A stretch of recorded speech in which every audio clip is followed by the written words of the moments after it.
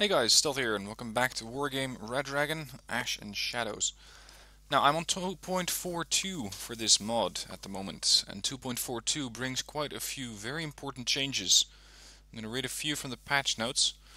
Air-to-air -air missiles have been radically altered, damage has been lowered, and critical chance has been increased. The critical chance hit tables have been adjusted, and the details of the new critical hit tables are in the ANS Player's Guide.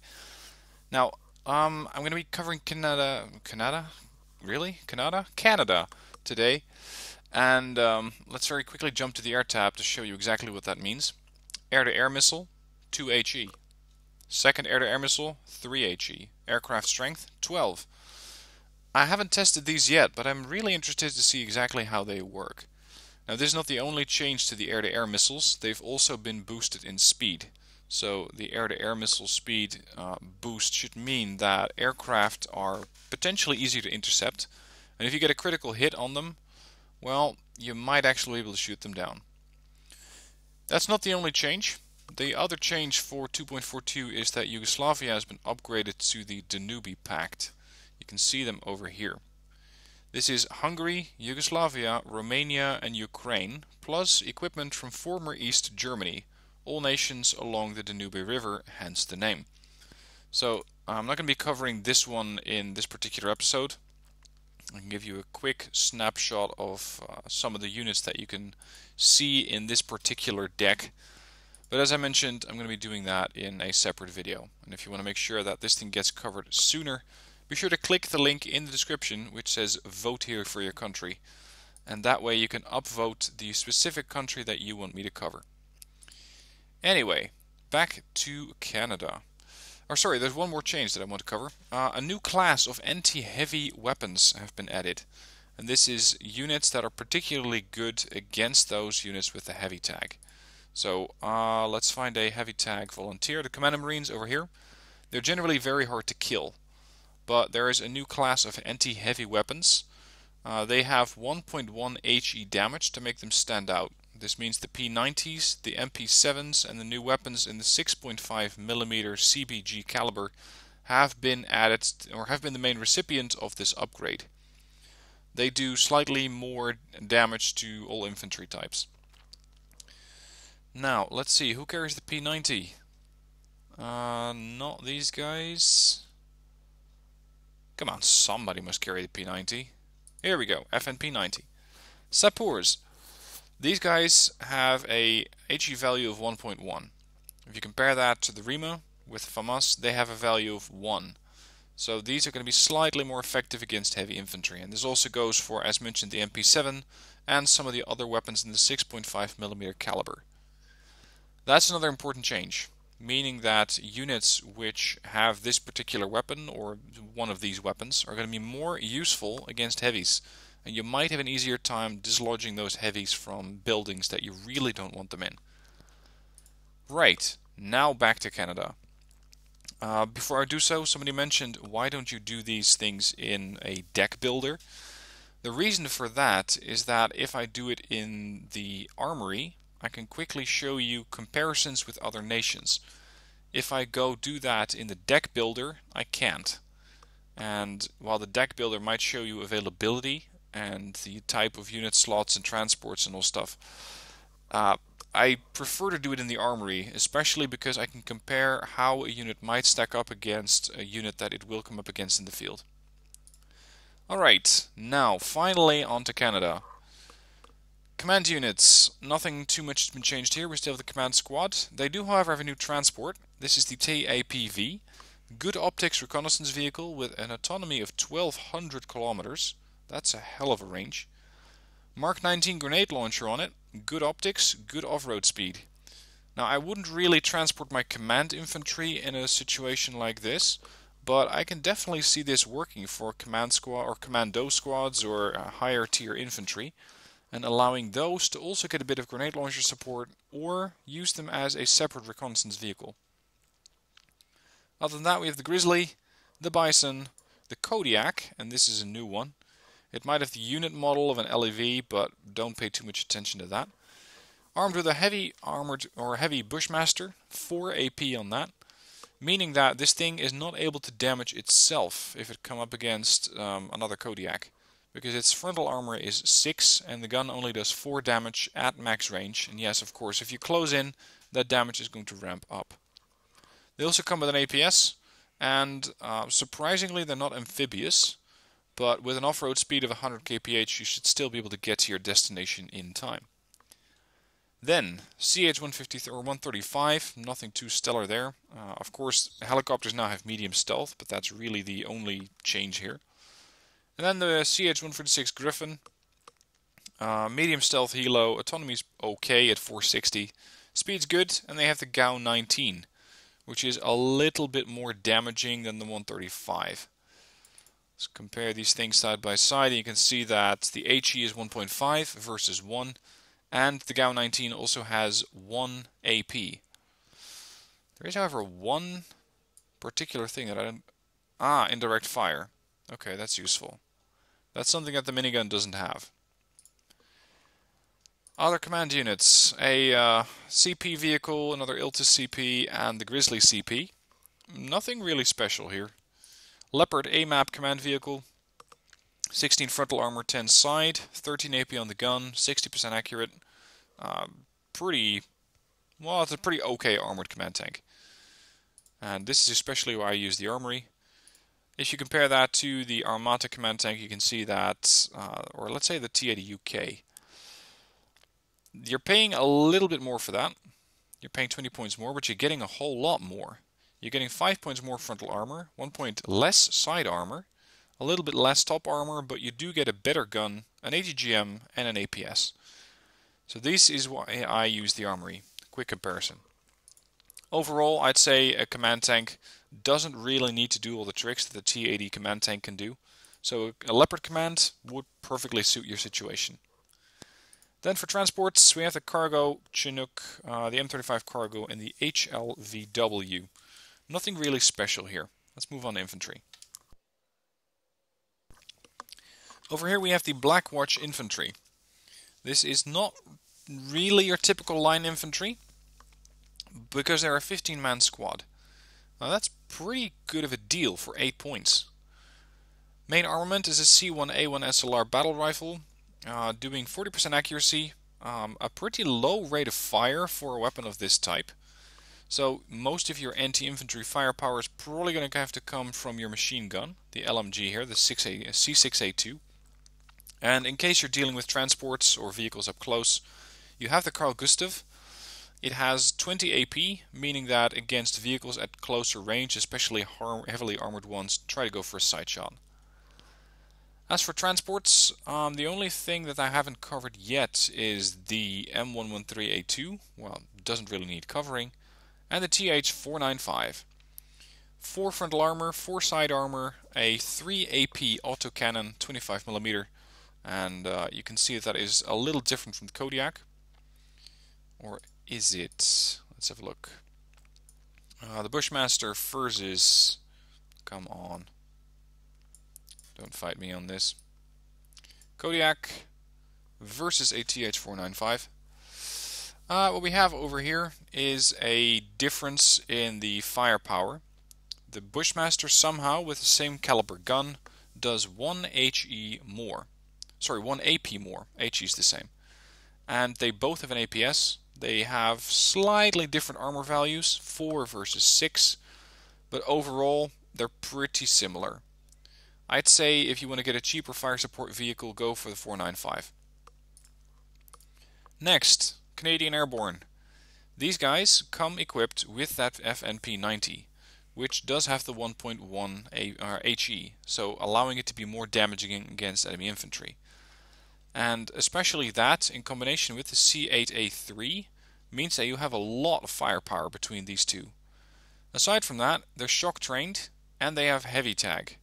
These guys are going to be very difficult to deal with against enemy infantry. The enemy infantry is going to have a hard time trying to dislodge them.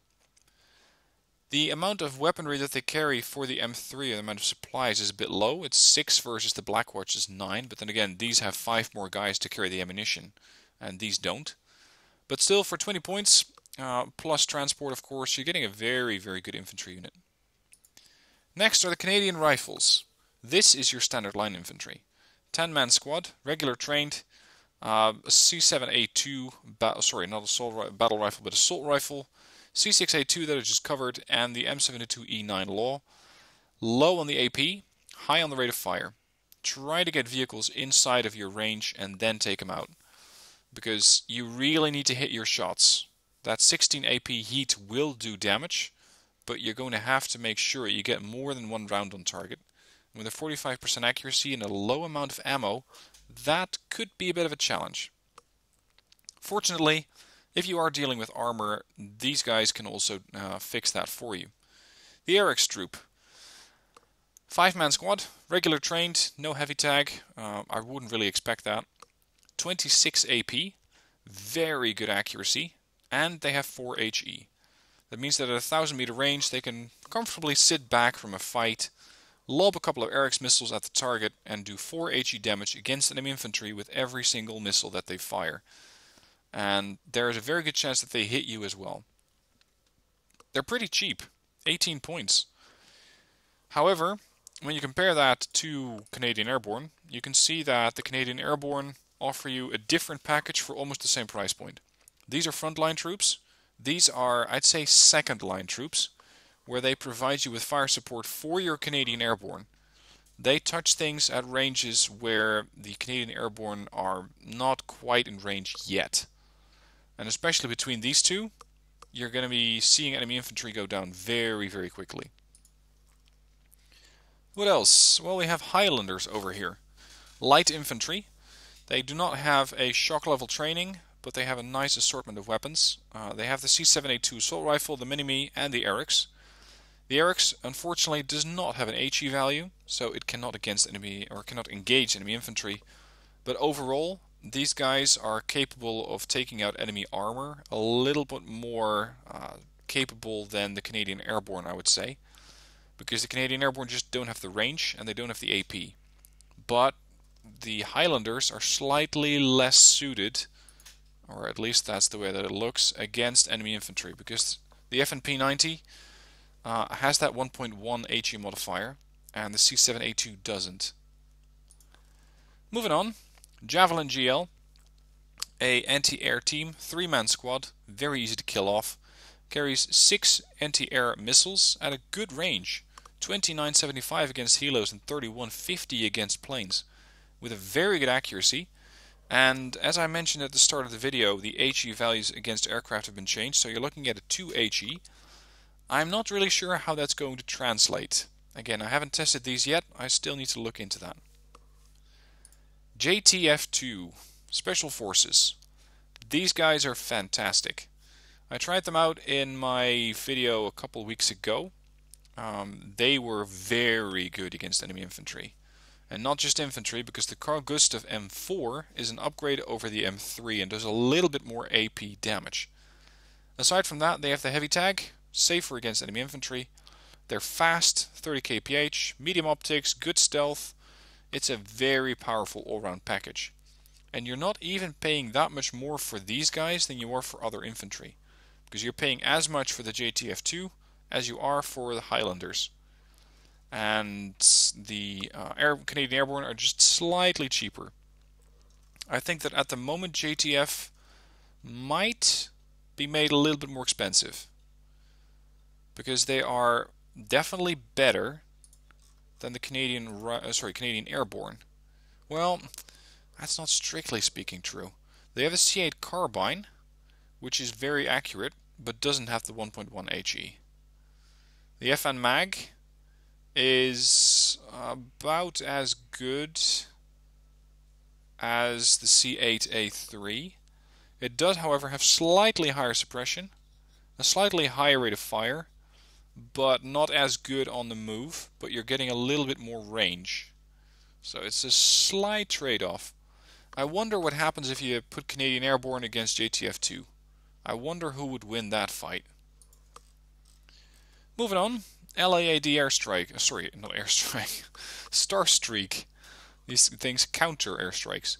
Very low HE value of only 1, but again, critical values might impact that quite significantly. You're looking at a very good range against airplanes and a fantastic accuracy 80%. Of course, keep in mind that you are still facing off against the enemy's ECM, which means that you're not likely to see an actual 80% hit chance or an 80% hit.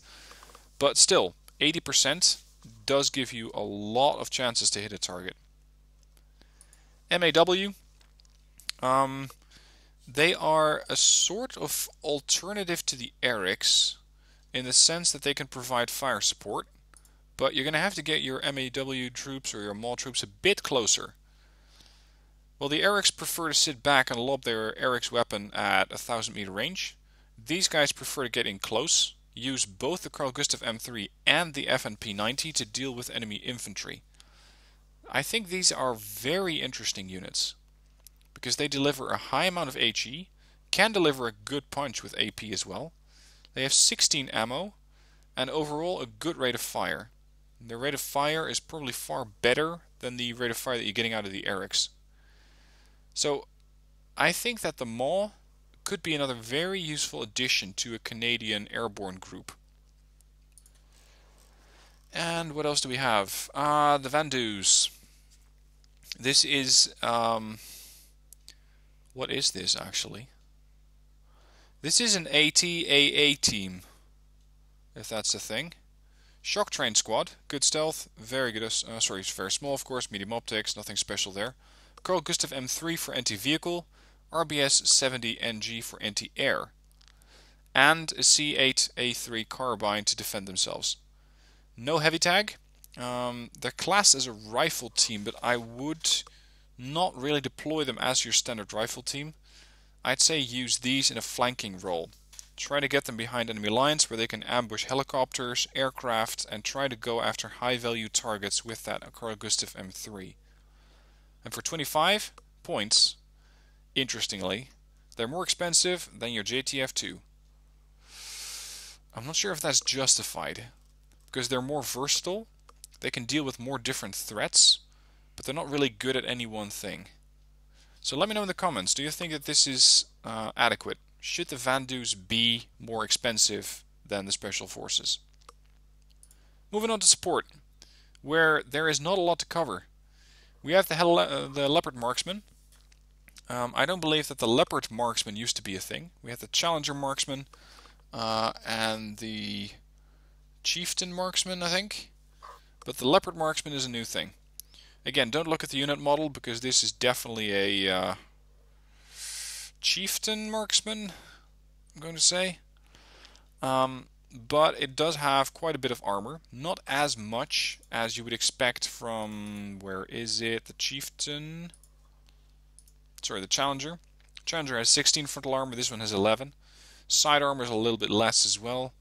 Overall, it's the same twin KDA system that you see on the, on the Challenger, but you're paying slightly less for it. What you are getting in exchange for a little bit less armor is a little bit more mobility. You're getting 70 versus 55. Both are big targets, so don't expect these things to be hidden easily.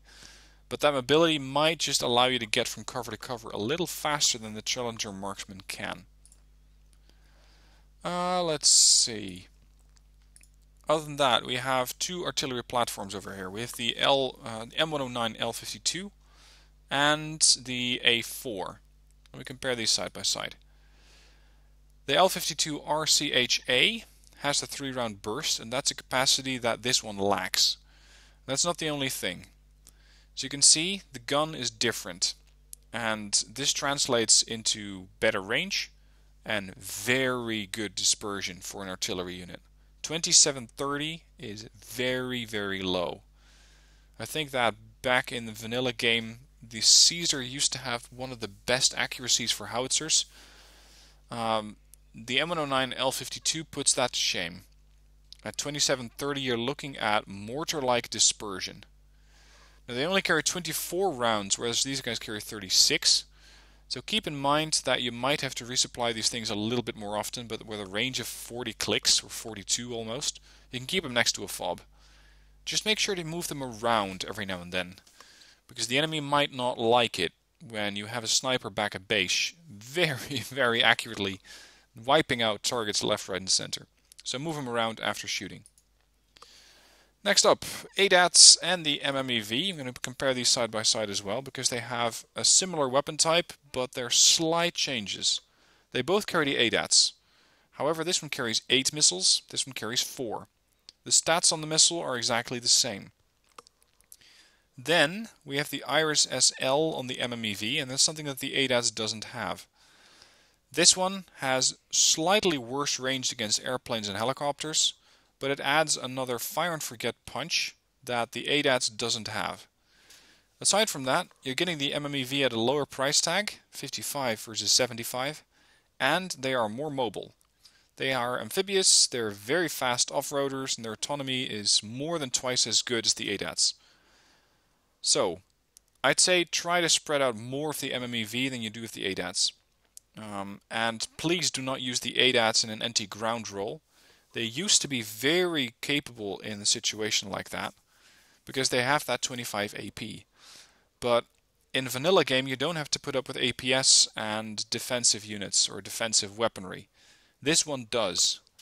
So the ADATS in a anti-ground role is no longer as capable as it once was. Tanks. Not a whole lot of tanks for the Canadians. But then again, they have infantry. What we have over here is the Leopard 2A6 Canadian. L44 smoothbore gun, doing a, a respectable 22 AP damage. Very accurate, both on the move and sitting still. HE is only 3. Um, I prefer my AT or my anti-infantry weapons, so my HE damage to be 4. and surprisingly, the Vickers does have 4.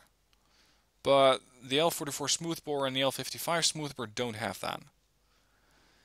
Now, frontal armor at 23 is very good. It's going to keep the enemy at bay for a while, but keep in mind that some units have very high AP, uh, going up to 27 on the...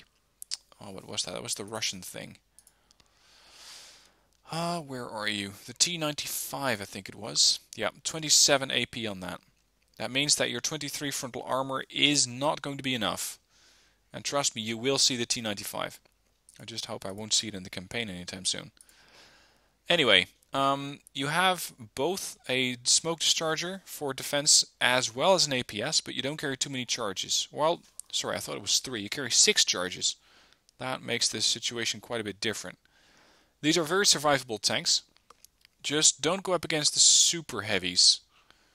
For that, the Leopard 2A6 uh, M might be a little better because you're getting a little bit more punch, quite a bit more side armor actually, 3 points more side armor, and especially important is more top armor. Cluster munitions generally do around 7 damage to top. These things will survive that. They will definitely take a scratch, but it won't be as bad as the uh, Leopard 2A6. So the 2A6M is an upgrade over the 2A6, you're paying 10 points more for it. Probably has less availability as well. But overall, it's just a slightly better tank. Then we have the Leopard 2 line, or sorry, well, sorry, the Leopard 1 line. Leopard C2. Very cheap tank, 45 points. Nice and agile platform. 65 kph off-road, medium optics, it can sort of spot for itself and I mostly use these in either a flanking role or as a supporting force for my tanks. This is something you can see me do in my Canadian uh, gameplay from a few weeks ago, and I'll link that in the description down below if you want to see these things in action. Leopard C2 MEXAS, more heavily armored brother of the Leopard C2. Uh, the MEXAS has 15 frontal armor and 9 side armor versus 13 and 5. The gun otherwise is exactly the same. Both has a smoke discharger and there's really not too much to be said. You are however slightly paying in mobility for the amount of armor that you're getting. This extra armor is slowing you down, but not by much. And then the Leopard C2 AMAP, uh, when compared to the MEXAS, slightly more armor. Again, 60 kph instead of 65. Your gun is still the same, but what you do get on the AMAP is the trophy APS. That's something that the MEXAS doesn't have. Now for 55 points you might be wondering why the hell would I even want an APS? You might not need it on the C2, but the C2 can share it with vehicles that don't have it. or that already use their own. So if you blend in a couple of C2 AMAPs, either in front of or between your Leopard 2A6s, these can help in defeating enemy APS, or uh, sorry, in enemy ATGMs. And then finally we have the Vickers Mark 7. I used this one in the uh, replay as well. I really like them. They are so flexible. Very fast, 80 kph. Good armor, 21. It's not the best, but you're paying 95 points for this. Whereas your other options are 55 points or 135. So there's a 40 meter barrier or 40 point barrier to either side. And considering that I'm getting an upgrade from 16 to 21 for 40 points or for another 40 points to 23, that makes this Vickers Mark 7 very suitable. Not only that, but they have a very accurate gun, which has one big drawback. It's not stabilized. You do not fire the RUAC 120 on the move. Second drawback, 20 AP, but it's a heat munition. It will always do damage, but it is going to remain the same whatever range you are to the target. That's a problem because this means that it will be able to damage even the heaviest armored tanks at maximum range. But the closer you get, it's not like it's going to do more damage. That does give you an option, and that option is to stay at maximum range. Whereas the enemy tanks benefit from closing in, you benefit from staying at maximum range. And that's interesting. So the Vickers Mark 7 is something you might have to uh, acquire a taste for, as it were. But once you have, I really think that you will like this tank. And not just because of the gun, but also because it has the smoke discharger and the trophy APS, as well as machine guns, which are not shown. But it's a very nice, well-rounded tank.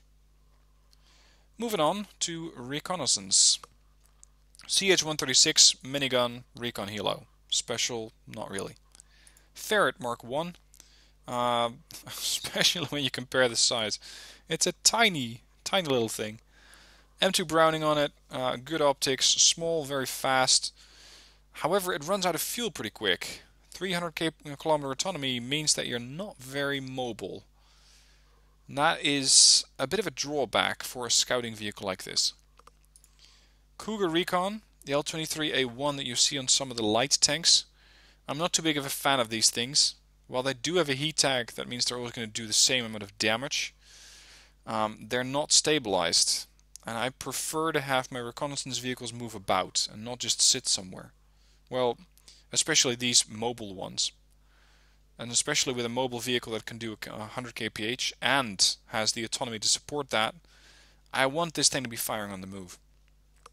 The Coyote fortunately can fire on the move, but does not have the same amount of AP. You're looking at 12 AP versus 4, because this is an autocannon and this is more of a main gun. Other than that, the platform is the same. You're getting the same amount of mobility. Uh, you are, however, not getting amphibious capability on the Coyote. But the Coyote has very good optics versus good optics. Next, the Iltis Scout. Not too much to be said about this. Um, just turn off the Browning, park it somewhere next to an open field, and that exceptional optics will spot everything that comes your way. M113 CNR. Um, nothing to be said about this thing. It's a 10 point, very cheap reconnaissance vehicle. Comparing that to the Ferret, I'd say the Ferret is much more mobile, 95 kilometers per hour, and since it's wheeled, it's also going to be uh, faster on roads. But the autonomy for this thing is 450 versus 300. And this one has amphibious capability, this one doesn't. So they fit slightly different roles. Next up, for recon infantry, we have the Pathfinders. The Pathfinders are, um, and I especially prefer these things to have the Carl Gustav and that AA missile, or surface-to-air missile.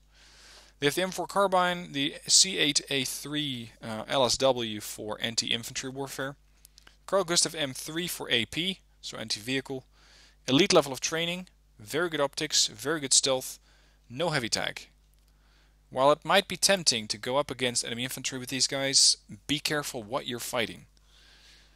If you're going up against enemy infantry, the other Canadian infantry units that you have in infantry tab are generally better options.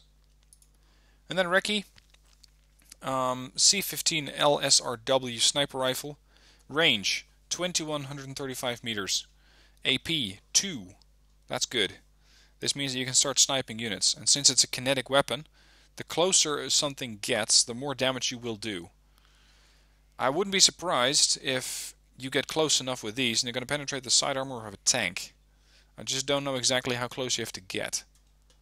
And of course, being an exceptional stealth unit, you might not even want to fire that weapon. Vehicles then. Um, quite a few I've already covered because they're transports. The Bison 81mm, just your standard mortar. But keep in mind that the mortar has a range or a dispersion of 2730, but the range is far less. Compare that to what I showed you before. This one, there's the mortar-like dispersion, 2730. Next, the Chimera, the tank destroyer, as it were. Um, still a heavy vehicle. For 110 points, you're getting quite a lot of armor.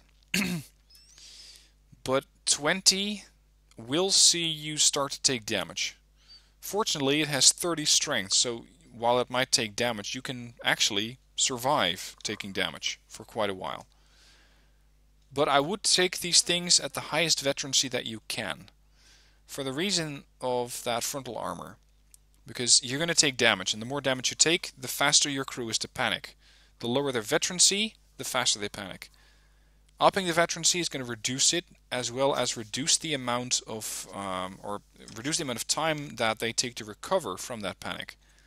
So take these things at the highest possible veterancy, if you want to use them at all. They do, however, provide you with a very accurate gun, which does uh, 21 AP, but is not stabilized. This thing is an ambusher, and nothing else. You don't use this as a frontline assault unit. That's what you have your Leopards for. uh, next up, the Cougar Mark 11. This is an upgraded version of the Bushmaster. This is the Bushmaster 3. 6 AP, very accurate, that stays the same. The platform is very nice. You're looking at 6 frontal armor, uh, amphibious capability, off-road is good, autonomy is good. I really like this vehicle. Definitely a nice fire supporter. Next up, a couple of transports. Um, next we have TOW-2 missiles. Range on these is not that good. The punch is very good. The challenge is landing those missiles on the target and trying to bypass the enemy APS systems. That's going to be the challenge. Um, they are very mobile, but the enemy, if it has an ATGM, will be lobbing that back at you. And while the enemy, let's say it's a tank, might have APS and will just easily swat away your missile, you cannot do the same thing. That makes the LV3 TUA a bit of um, a complicated unit to use. I wouldn't really trust it too much. This one, the LAV TUA-2B, is slightly better because um, while this thing does have the 25 AP, it has to go through the frontal armor. This thing goes through the top armor, has slightly better range and even more missiles, 12 versus 16. It's a different way of attacking a target. Um, again, you're dealing with an APS try not to lose too many missiles to the APS. The M113 TUA is just another 2-2 carrier, nothing special there. Uh, a couple of transports, another mortar system, and finally the Wolverine. The Wolverine is an AA vehicle. what exactly it's doing in the vehicle tab, I'm not quite sure but this is one more vehicle that, as far as I'm concerned, should be in support. It's an AA. Uh, what is it? An AALAV of sorts. The problem is that the missile has a little bit less range than you would probably like it to be. You're looking at 2975 versus Helos, 3150 against aircraft. Accuracy is good. HE again is a question mark. Mobility is very good, and the cheap is quite uh, the cheap.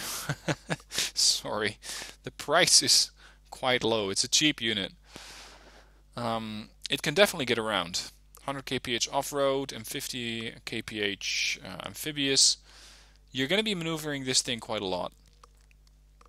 But whether you're going to get into range, that remains to be seen. It's a bit of a question, this thing. Helos then. Um, these two are transports. then we have the 135 gunship. I don't believe that this thing has been changed too much. Maybe it got a little bit more AP, but that's about it. And the CH-146 TOW is carrying the TOW-2 missile that I just mentioned. Um, still has the same issues. Another issue that you have to contend with with this helicopter versus something like the LEV is that while it may have a stabilizer, I would not trust that thing. You simply cannot afford to miss because you only have four missiles. This thing has 12. This thing can afford to miss. This thing, not so much. So what we have over here is a potentially uh, lacking helicopter tab for anti-tanks you don't really have that many options. Let's see if the airplane tab makes up for that. First aircraft, CF-118 or 188 Hornet. Um, still a pretty good aircraft, although it's been superseded by some of the others. You're looking at exceptional air detection, good speed, 40% ECM is alright. And 6 fire and forget, short range missiles, 2 long range missiles. Let's see if the other aircraft can do better. The CF399 Gripen is an upgrade over that.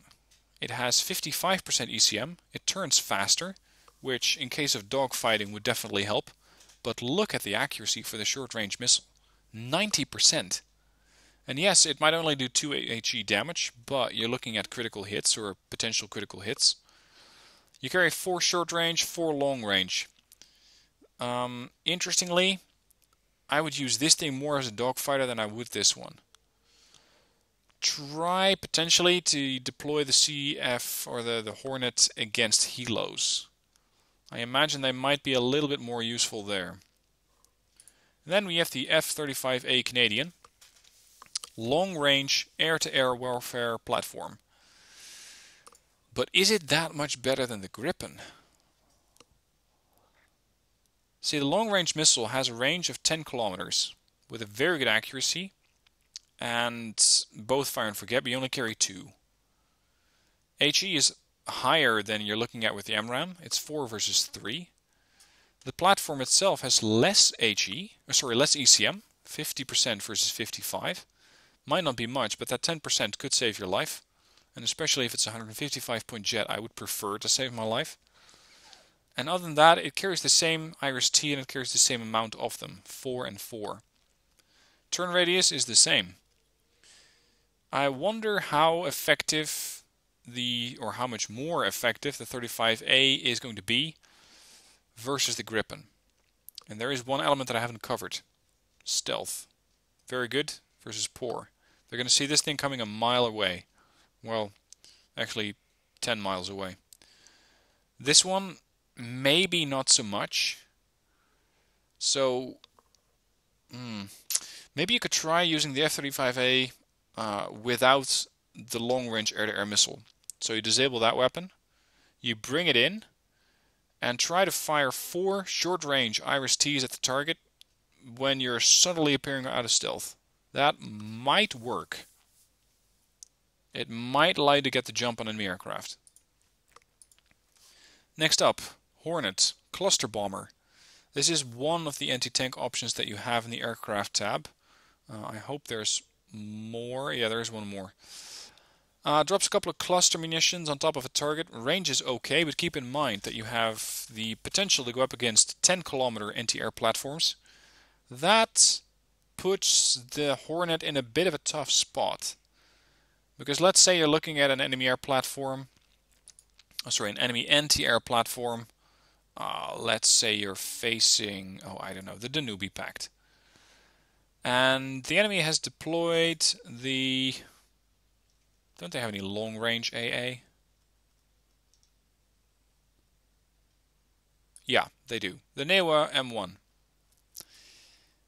You're going to have to fly through about 4 kilometers of anti-airplane missile range that the NEWA or NEVA has with your Hornet before it drops munitions. This thing has an 80% accuracy. You're fighting back with 40% ECM. I still wouldn't risk it. I think it's still quite risky to send it in. Fortunately, you can escort that thing with an EMQ-4C electric Triton. 50% ECM, but more importantly, jammer pods. This thing will never be able to actually defeat an enemy tank or an enemy AA unit, not so much in killing it off, but it will do damage to it. It will do morale damage, so it will shut it down. And that way, uh, for 70 points, they make a good escort for the Super Hornet. And then finally, we have, um, sorry, for the, the Standard Hornet. The Super Hornet could also use an escort, but it has slightly higher ECM. You're looking at 60% ECM. Range is the same, but this is an HE bomber versus a cluster bomber. Also, it carries the IRIS-T, so that's those short slash medium range air-to-air missiles. And the turning radius is quite good, making this a nice multi-role aircraft. But for 115 points, um, you cannot really afford to lose it. It's pretty expensive. And then we have the Paveway. It's the final aircraft. Paveway carries three Paveway 3 bombs, laser guided bombs at that, 20 HE. They have no dispersion because they're laser guided. Range is good, and since they're fire and forget, you can drop them and just leave them to go all by themselves. That's quite handy. They also have four Maverick anti-tank missiles. Range is good, 4.7 kilometers. Accuracy is really good for a missile, 60%. AP is 30. Keep in mind, APS. This is not your one-shot anti-tank solution anymore. They're very expensive, 160 points. I wonder how this thing reacts to Winchester. Because I imagine that you might uh, bring in this aircraft and it just goes, yep, I dropped my paveways and I'm evacing. In which case you have these perfectly good anti-tank missiles which are not being used. That would be a shame. So how exactly this thing uh, responds to evac Winchester, I don't quite know. We're going to have to do some testing about that. Anyway, that is the Canadian deck. Um, emphasis is definitely on infantry. They have some really good options there, like the Canadian Airborne, uh, the Highlanders, they have the JTF2, the MAW, the Vandoos. They are very flexible in uh, infantry on infantry warfare. Tank warfare, they're alright. They're not stellar, they don't have those super heavy tanks like the Americans do, but they can pretty much manage. Reconnaissance is okay, nothing too special. Vehicles mostly are fast, and I'm not just looking at the vehicles from this tab, but also the transports here. Uh, if you're looking at the Kodiak, 100 kph, uh, you're looking at the Bison, 100 kph, these guys can get into position fast. And once they're there, the infantry can hold their ground. The Chimera, more of a tank sniper of sorts. Again, the 75 accuracy is very good, but it doesn't have a stabilizer and the armor is a bit lacking. Helos are very lacking and aircraft are, uh, well, up to the job, I think. But there's one aircraft that you're missing, and that's a SEAD. And especially considering that SEAD can now target both anti-tank, or sorry, um, artillery and anti-air. Not having a capability that does that is a bit of a drawback. So keep in mind that you might have to tandem this deck with another one in order to make it more effective. And for a coalition, what are they in? Uh, they're in Norforce. And if you go for Norforce, then you do have SEAD options. Uh, I believe. Eventually. Yeah, here. BAE Taranis. has uh, the Armat missile. So if you're going for a coalition deck instead of just a Canadian deck, you're going to be sacrificing some activation points, but you get a lot more flexibility. Anyway, that's it for the Canadians. Let me know what your thoughts are down below in the comments. And again, if you want to vote for the next country to review in the armor review, be sure to do that through the description link. Upvote the country of your choice, and I'll happily look into that very soon. And of course, tomorrow there's another episode for the campaign, Second Korean War. For now, thank you for watching, hope you enjoyed it, and I'll see you soon for more.